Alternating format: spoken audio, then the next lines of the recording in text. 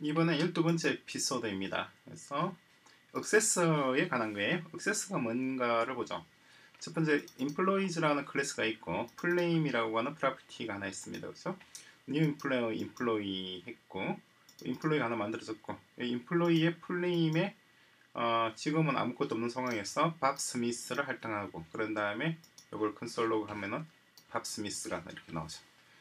근데 문제는 뭐냐니까 이 employee instance를 외부에서 이렇게 마음대로 데이터를 바꾸면은 이 상당히 곤란한 상황이 발생할 수가 있다는 거죠. 나는 바꿨는데 내 친구, 내 동료는 그 사실을 모를 수가 있잖아요. 그죠? 그래서 하나의 안전장치를 만드는 것이 바로 getter과 setter이라고 하는 두 가지입니다. getter and setter function입니다. 그걸 합해서 accessor이라고 표현해요. 어떤 식으로 동작하는지 보겠습니다. 그래서 보면은 passcode에서 secret passcode가 있습니다. 그런 다음에 employee에서 employee의 full name private이에요. private 데이터는 이렇게 죄송합니다. private 데이터는 여기 low dash를 어, 표시하는 것이 관용적입니다. 그렇게 해서 똑같이 get 펑션과 set 펑션 두 개를 아, method죠. 두 개의 method를 설정을 하고 그런 다음에 새로운 employee를 만들고 employee의 full name에 밥 스미스를 던져주게 되면 그냥 이것이 밥 스미스가 full name에 들어갈 수는 없죠. 왜냐하니까 private이잖아요. 그죠? 따라서 이 클래스 내에서 어떻게 접근해야 됩니다. 그렇게 접근하는 것이 요거예요. get과 set이죠. 셋에서 플레임 그죠? employee의 full name을 호출했고 full name에다가 밥 스미스를 던져주면은 얘는 어떻게 하나요? passcode가 있고 passcode 있죠.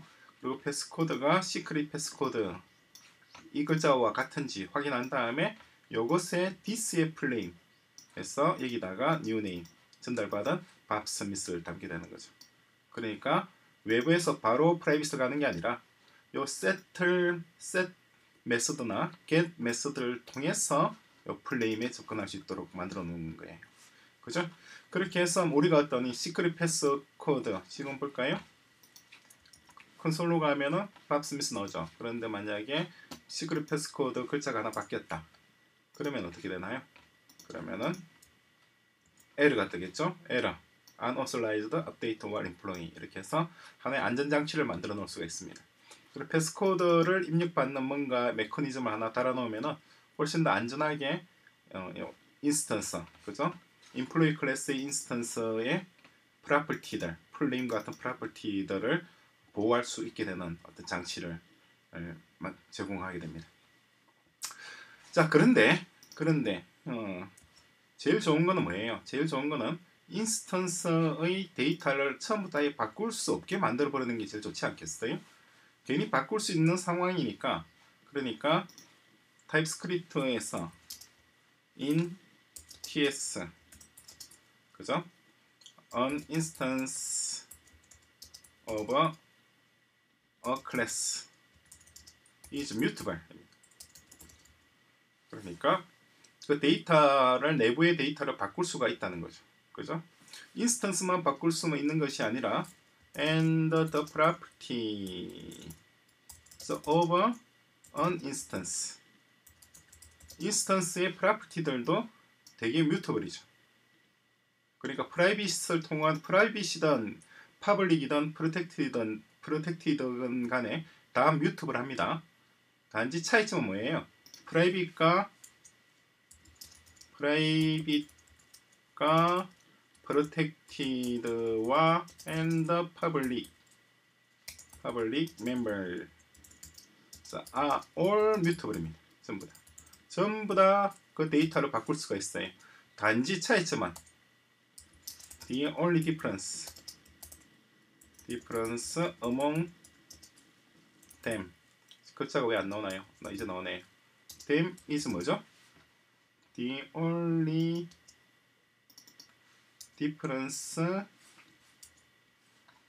among them is how to mutate the data.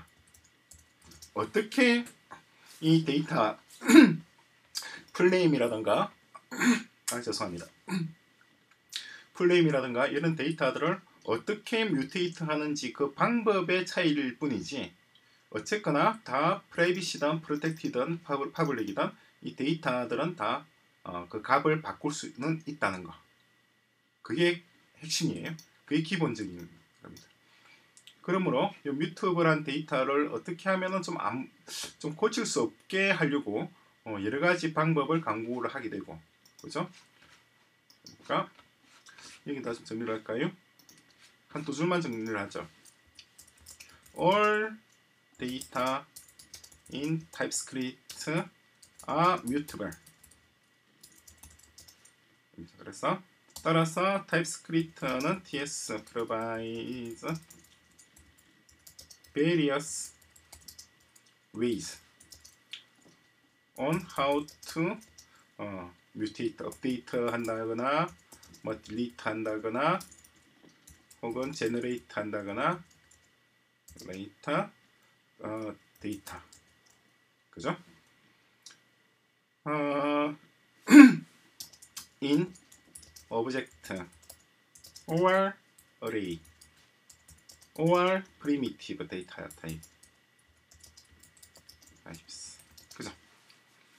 다양한 방식을 제공을 합니다. 그런데 만약에 생각해 보자는 거죠. 이걸 1 할게요. 1 만약에 처음부터 그죠?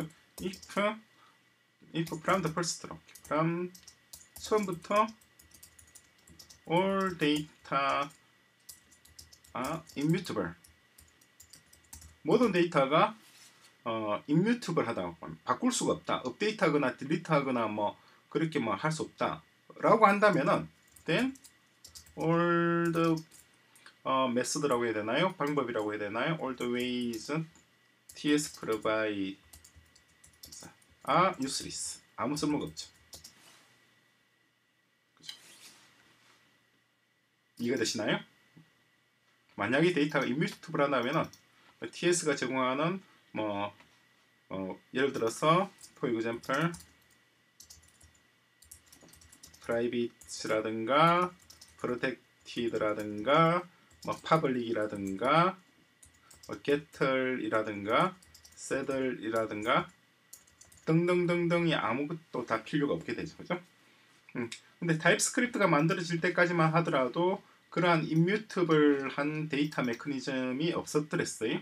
그런데 최근 2, 3년 사이에 이러한 데이터를 immutable하게 하는 여러 가지 방법들이 재, 발견되었고 발명되었고 그리고 개발되었고 그리고 그 기술들이 계속해서 발전을 해오고 있습니다. 그래서 지금은 어, 타입스크립트보다도 훨씬 효과적인 어떤 방식들 굳이 이렇게 하지 않더라도 어, 데이터를 보호할 수 있는 다른 방식들, 다른 알고리즘들이 만들어졌다는 거, 만들어지고 있고 널리 이용되고 있고 점점 그 이용도가 높아져 가고 있다고 하는 사실을 여러분들이 알아둘 필요는 있습니다.